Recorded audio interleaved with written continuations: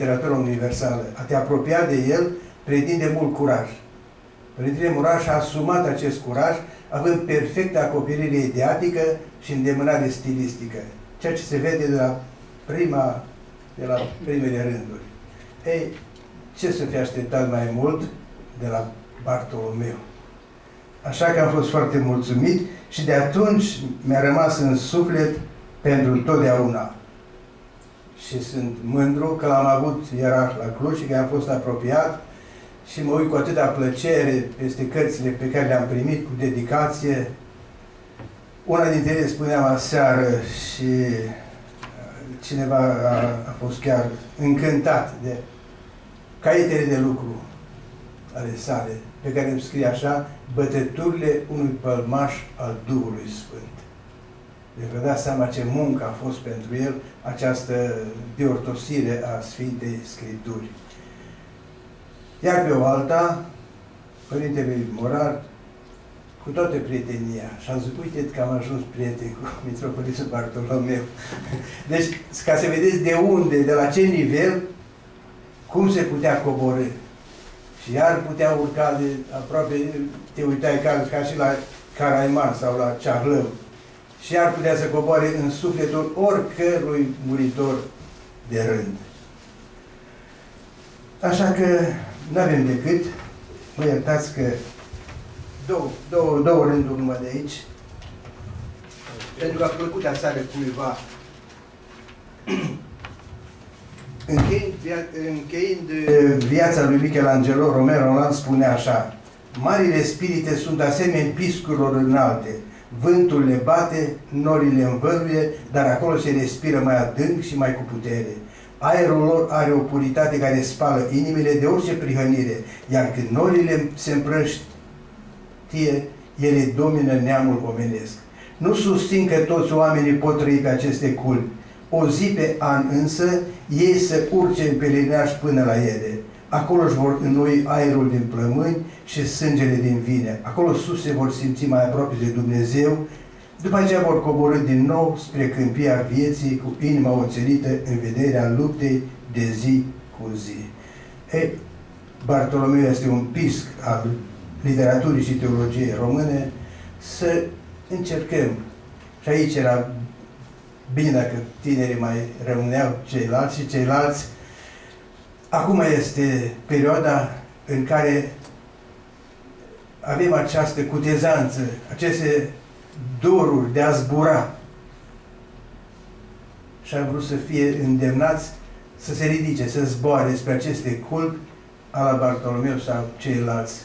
Pentru că altfel ne sufocăm aici jos. Vă mulțumesc.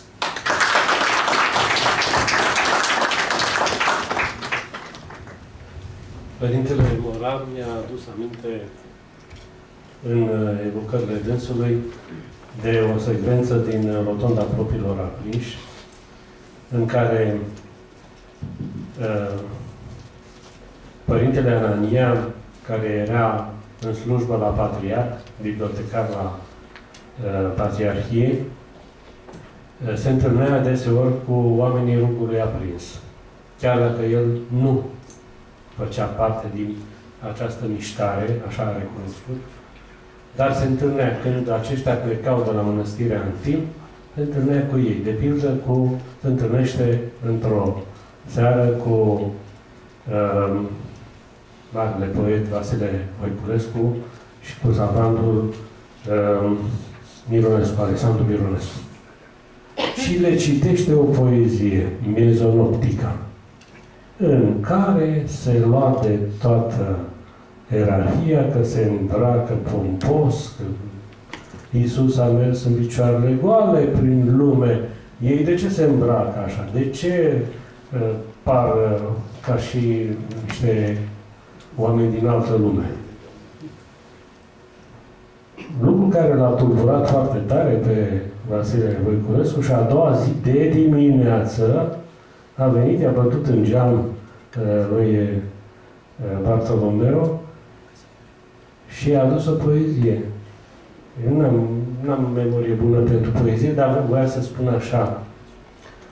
Păi dacă Domnul Dumnezeu este împăratul cerurilor, slujbașii lui nu trebuie să fie oameni împărăției. De aceea se îmbracă. Se îmbracă atunci când îl slujesc în slujbă. Și dacă sunt tot timpul în slujbă, tot timpul trebuie să-i vedem așa în straie împărătești. Așa este o fotografie celebră a înaltului Bartolomeu și de fiecare dată când am privit-o, m-am gândit la această poezie a lui Vasile Voiculescu, l-am văzut ca un slujbaș al Împărăției Cerești. Părintele Jean Nicolae. Vreau să vă spun că Părintele Jean Nicolae este o mai veche cunoștință a noastră, a venit de mai multe ori în Vâlcea, ne-a prezentat fragmente dintr-o lucrare la care și acum lucrează, deși ca și terminată, foarte interesantă. De la mine? Da. Despre Isus, vița cea adevărată, vița uh, sfântă. Cunoașteți imaginea uh, lui Isus din coasta căruia uh, apare o viță de vie cu struguri copți în care chiar el stoarce și așa mai departe. Aceasta este, bineînțeles, o imagine simbolică a funcționalității sale. O imagine simbolică pentru o esență a Bisericii. Euharistia.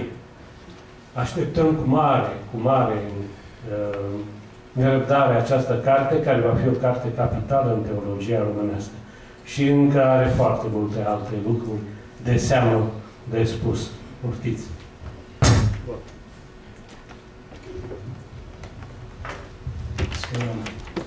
Revenind încoace, trecând pe lângă Schitul Pătrunsa,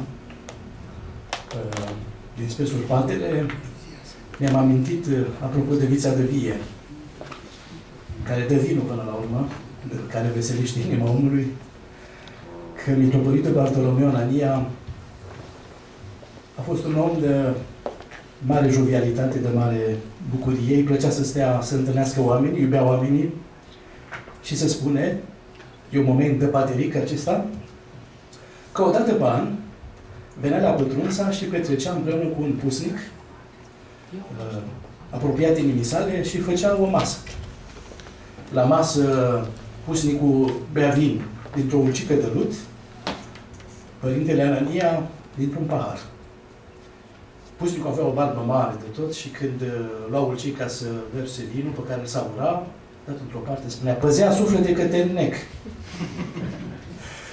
Iar părintele Anania râdea cu toată inima, cu toată pofta și spune că dacă te mănâncă uh, pașii către pifniță să mai iei vin, scrie acolo deasupra la intrare, păzea suflete că te înnec. M-am amuzat uh, și am gândit să încep cu ceva ca să, mai ales pentru tineri, să vadă că nu vorbim mai despre un om foarte sobru, foarte serios, și vorbim despre un om uh, plin de omenie, un om uh, având uh,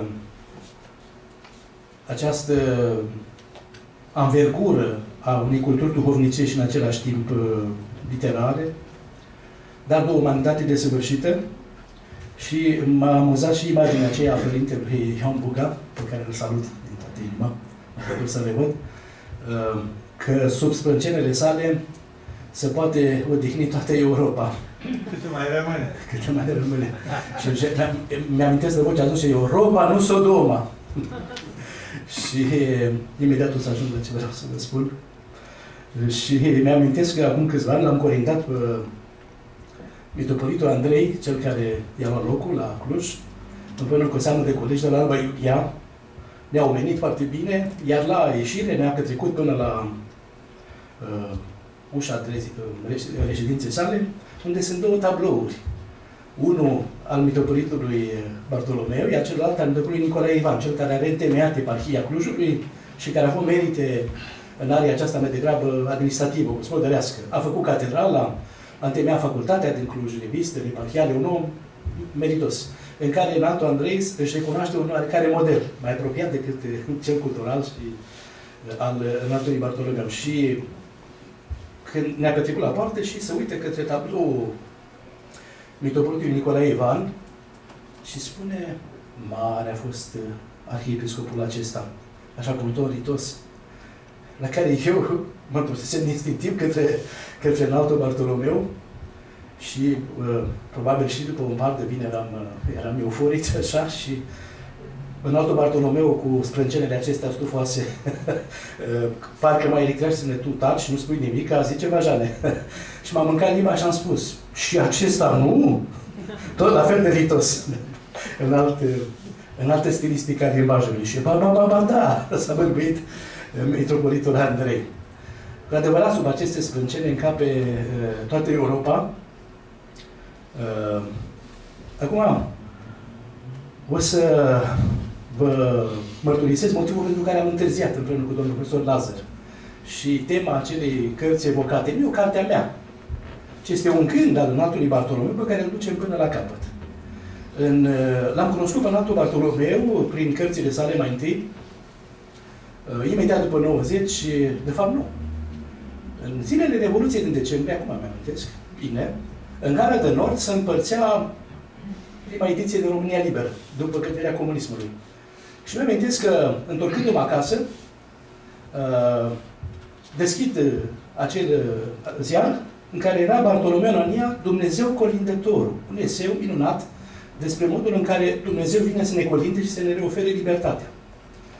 Apoi uh, am citit cerurile Oltului cu o, cu o bucurie fără margini și am ajuns, uh, evoca mai întâi tema aceasta de iconografie euharistică, Hristos, vița cea adevărată, evoca anumite teme iconografice din zona sa natală, uh, de aici vine și titlul cărții Cerului Ortului, eu le-am zis astăzi Văzduhurile Brâncoveanului, la aceste ceruri ale Ortului și care ne dau tărie duhovnicească acestui popor. Și uh, făcând acest pelerinaj uh, sub cerurile Ortului, mi-am dat seama de unde a venit însului această sensibilitate la frumusețea iconică. Sunteți un, un județ, o zonă, unde primează o mistică iconică care s-a manifestat în, în jurul frățineilor și prin acest părinte minunat Gelasie Gheorghe, a luat o expresie teologică, uh, și aceste troițe cu icoanele uriașe uh, de pe marginea drumului vorbesc, grăiesc în limbaj popular despre, uh, despre sensibilitatea la frumusețea taborii ca lui Dumnezeu. Uh, atunci când am citit uh, temele, despre temele iconografice care l-au impresionat pe dânsul, am rămas mai întâi la imaginea viței care crește din coasta lui Hristos. Uh, dânsul vorbea, în primul rând, despre uh, reprezentarea iconografică uh, care apare pe conca din altarul schidului Sfinții Apostol de la Hulezi, o imagine de început de secolul XVIII, care a influențat ulterior întreaga iconografie euharistică românească. Este o temă care a trecut din din altar, de la proscomidie, din liturghierele arhierești și de pe antimise, uh, în Transilvania, în icoana păstică și a fost cea mai iubită icoana lui Hristos. De ce? Uh, să știți că sursa literară, am descoperit de curând, este uh, o meditație omiletică, o predică medievală, numită Vitis Mystica de secol XII, atribuită lui Bernard de Clairvaux, de fapt este din preajma lui, unde se compară modul în care pătimește Hristos, care se numește pe sine însuși viță, este poate cel mai interesant, cel mai profund și mai iudaic, iudeo-creștin simbol din Evanghelia lui Ioan, cu modul în care pătimește o viță de vie, de la sădirea ei până la facerea vinului. În vine această imagine este și din imunografia noastră, din biserică. De pildă, în Vinerea Mare nu mai auzim noi, că sunt multe acolo, se spune la un moment dat că tâlharul fură strugurile din vița cea adevărată, adică de pe cruce. Dumnezeu îi se oferă ca în această savoare a viței, a strugurilor. Dar am rămas impresionat de, de ultimele pagini ale cărții Cerului Ortului, uh, unde uh, dânsul descrie succesiunea de șase imagini a întâlnirii lui Patriarhului Avram și a Sarei cu cei trei îngeri, la stejarul Mamvri. Este vorba despre întâlnirea dintre, dintre om și Dumnezeu. Uh, Dumnezeu, omul îl invită pe Dumnezeu la masa sa și are această demnitate înaltă să, fie, uh, uh, să primească invitația lui Dumnezeu la masa lui, la masa veșniciei lui. Iar în ciclul de șase imagini de la surpatele, Părintele Anania descrie în dialogul acesta între omul de cultură și omul bisericii, descrie că în acest ciclu este ceva mai interesant și mai divers decât ne propune de pildă celebrul iconar sfânt Andrei Rublev,